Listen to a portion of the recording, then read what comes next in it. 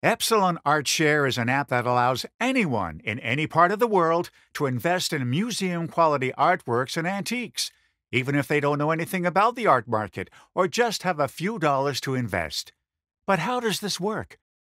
Epsilon ArtShare buys valuable artworks and antiques and lists them for sale on the app. Users can either buy an artwork in the collection outright or invest in it with no minimum amount required.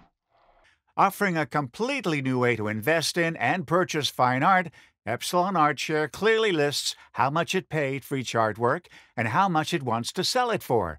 If a collector wants to purchase an artwork, they pay a deposit, which immediately notifies all users that someone is buying the artwork. Any user then has 24 hours to bid a higher price. When 24 hours have passed since the highest bid, that highest bidder has purchased the artwork. The proceeds are then distributed to users who invested in the artwork according to the size of their initial payment. To invest in an artwork, users simply need to choose an artwork in the collection and decide the amount they want to invest. Users can also reallocate their interest from one artwork to another at any time. And if a user doesn't want to wait for an artwork to sell before receiving money for their interests in it, they can offer to sell their interest to other users on the app at any price they like. The goal of Epsilon ArtShare is to sell the artworks listed on the app as quickly as possible. When we buy artworks for the app, we don't look for potential long term value increases. What we want is to buy exceptional artworks at prices lower than the market price and sell them at the market price. But how do we manage to buy great masterpieces at prices lower than the market price?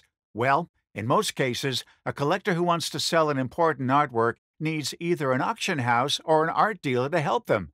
When an artwork sells at auction at a hammer price of $100,000, the buyer typically pays closer to $125,000, while the seller gets around $95,000. If we believe an artwork can sell for $125,000, we'd offer its owner closer to $95,000, explaining that this is what they'd earn if they sold the piece through an auction house or art dealer. Unlike auction houses and art dealers, we can offer immediate payment and turnaround. This is how we can buy collectible artworks and antiques at favorable prices before selling them at their market value.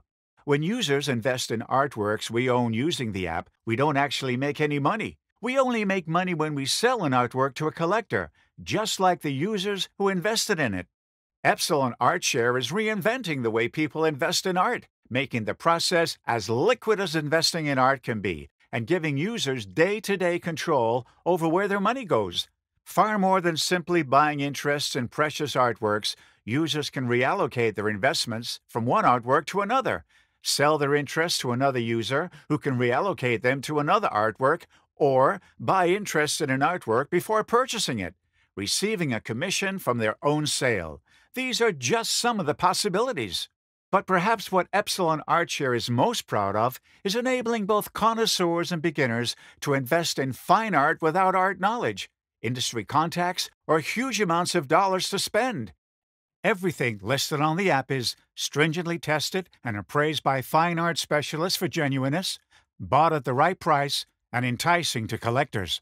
And while it is not necessary to know about art to use the app, many users will naturally become more knowledgeable about fine art and the art market as they go, a privilege that until now was reserved for professionals and the exceptionally wealthy. As an innovative concept, Epsilon ArtShare will rely heavily on social media to gain enough visibility among the general public to combine the promotional and sales aspects of an auction house with the business model and pervasiveness of a public museum.